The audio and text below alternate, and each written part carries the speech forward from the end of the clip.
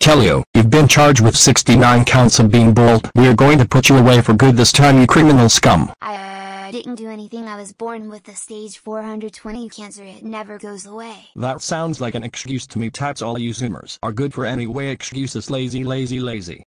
Okay, but what are you going to do about it? Ha and now you're the bullet in your forehead all of the kids at school will bully you now. Wah wah wah wah you this is so embarrassing. I die now of embarrass and not the bullet in my fucking head. Caillou was a great boy. Psyche's the biggest bitch in the world. I do not know of any bitches bigger than him. He sucks. He fucking sucks and he deserved to die. Ha ha ha ha ha ha ha ha yes I agree with everything the Asian says. Wahahaha this is so sad. Alexa, play Despacito. Shut the fuck up Doris. You know what? Kill that woman right now yes earn the bitch blue hair.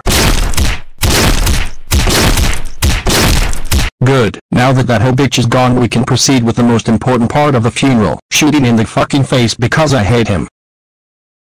Any last words bitch boy Kalik? Wait a microsecond. Abusing the Calico is my thing you can't steal my thing. Well then pull out the wit bitch. I always bring the F4 with me like a true American, Asian man. You are grounded oh grounded grounded for 79431283213213138791 years. Go back to your affordable car dealerships.